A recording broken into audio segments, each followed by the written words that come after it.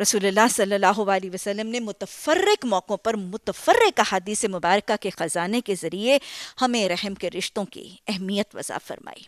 हज़रत अबू हुरैरा रज़ी अल्लाह ताला अन की रवायत से बुखारी और मुस्लिम शरीफ की मुतफ़िक़ुन हदीस में क़ाल रसूलुल्लाह सल्लल्लाहु अलैहि नबी सल्लल्लाहु अलैहि ने फरमाया, रहम रहमान से मुश्तक है।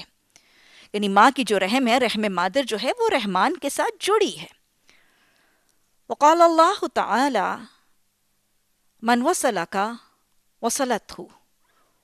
वमन कता का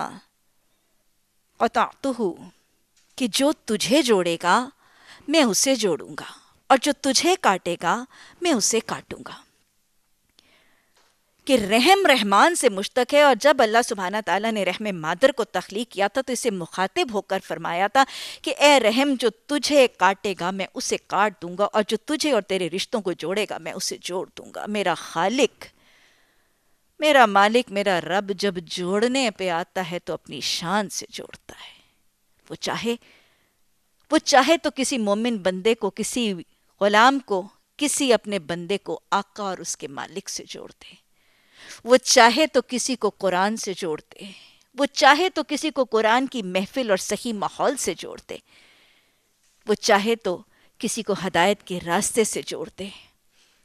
और वो रब अगर काटने पे आया, वो जुल जलाली वल इकराम अगर काटने पे आया तो वो चाहे तो किसी के रिस्क के ज़रिए काट दे वो चाहे तो किसी की इज़्ज़त का ज़रिया मुनकता कर दे वो चाहे तो किसी की सांसों की लड़ी और उसकी धड़कड़ों की डोर काट दे, ये सब उसके पास है, वो चाहे तो अपना और उस बंदे का ताल्लुक काट दे, वो चाहे तो उस बंदे को कुरान के ताल्लुक से महरूम करके काट के फेंक दे। जो तुम्हें जोड़ेगा, मैं उसे जोड़ूँगा और जो तुम्हें काटेगा, मैं उसे काटूँगा। क्या अल्लाह सुबहाना ताला ने अबू लहब से उसके रहम के रिश्ते काट नहीं दिए थे? आप सल्लल्लाहु अलैहि वसल्लम ने इसीलिए फरमाया कि तुम में से जो शख्स चाहता है कि उसके उम्र में और उसकी माल में फराखी और बरकत हो जाए उससे चाहिए कि सिला रहमी करे, यानी अपने रहम के रिश्तों को जोड़ के रखे। आप सल्लल्लाहु अलैहि वसल्लम ने हदीस मुबारक में हज़रत जुबैर बिन मुतम रज़ी अल्लाह अन की रवायत से मुस्लिम शरीफ की हदीस के अल्फाज आते हैं। अमीन नबी सल्लल्लाहु अलैहि वसल्लम ने फरमाया ला कि कोई कता रहमी करने वाला, रहम के रिश्तों को काटने वाला, वो जन्नत में दाखिल नहीं होगा। और जिसके लिए आपने फरमा दिया है, क्या वो शख्स जन्नत में दाखिल होगा सही? रहम के रिश्ते काटने वाला जन्नत में दाखिल नहीं होगा। आप सल्लल्लाहु अलैहि वसल्लम से सवाल किया गया कि कौन से अमल अल्लाह सुबहाना ताला की तरफ़ बहुत पसंदीदा है तो आपने फरमाया एक अल्लाह की इबादत करना उसके साथ किसी को शरीक ना करना नमाज़ वक्त पर पढ़ना जक़ात अदा करना और रहम के रिश्तों को जोड़ना इसी तरह जन्नत में जाने वाले अमाल की फहरिस्त आप सल्लल्लाहु अलैहि वसल्लम ने मरबूत तरीके से फरमाई आपने फरमाया भूखों को खिलाओ रिश्तों को मिलाओ सलाम को फैलाओ और नमाज़ उस वक्त पढ़ो जब लोग सो रहे हों, तुम जन्नत में दाखिल हो जाओगे।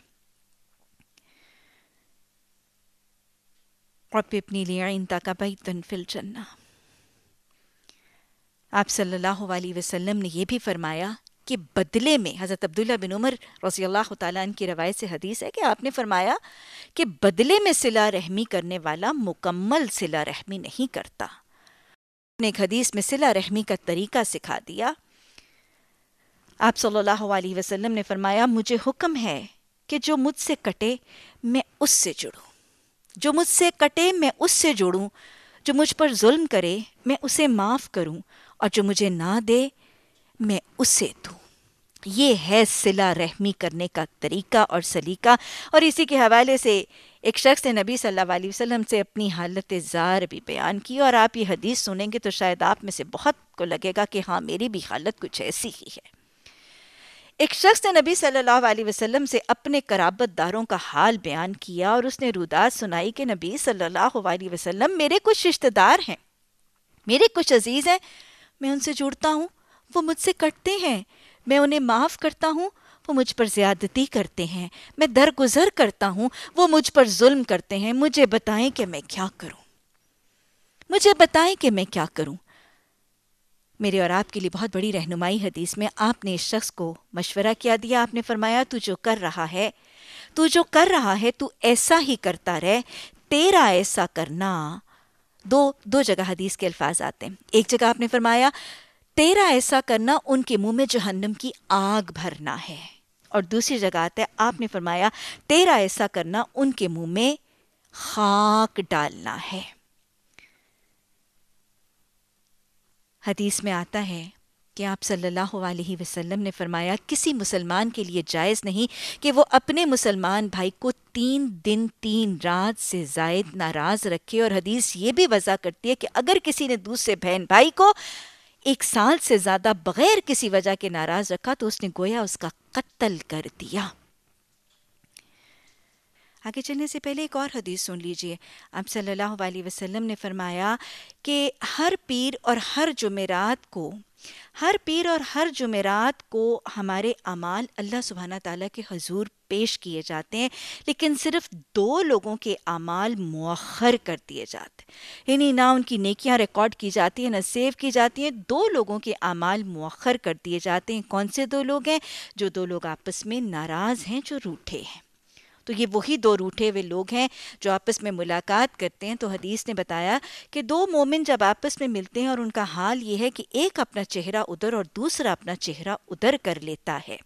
बस औकात होता है ना कि दो बहनें आपस में खफाएँ या दो दो भाई आपस में खफाएँ और कोई और तीसरा रिश्तेदार उनको किसी कॉमन महफिल पर मधु करता है और जब इंटरेक्शन होता है they come across each other तो वो एक नाराज़ होकर वहाँ बैठा है, दूसरा वहाँ बैठा है, उसने अपनी लॉबी बनाई, उसने अपनी लॉबी बनाई और आपस में कोई कलाम और कोई मामला नहीं हो रहा ना। तो आप सल्लल्लाहु अलैहि ने फरमाया, इन दोनों में से अल्लाह की रहमत के वो शख्स ज़्यादा करीब है जो सलाम में पहल कर लेता है, जो सलाम में पहल कर लेता है। ये क्या है? सलाम में पहल कर लेना, झुक जाना है आजी करना है, माफ़ी मांग लेना है और झगड़े को रफा दफ़ा करना है। हदीस के अल्फाज याद रखिएगा।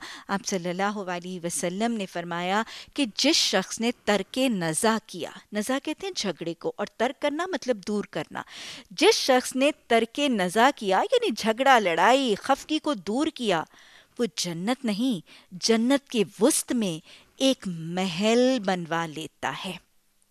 गोया, एक दूसरे को माफ़ कर देना, दरगुजर कर देना, खफकी को ख़त्म करके माफ़ी मांग लेना, जन्नत के सेंटर में, हार्ट ऑफ़ जन्ना में एक बहुत खूबसूरत आलीशान महल बनाने का ज़रिया बनता है।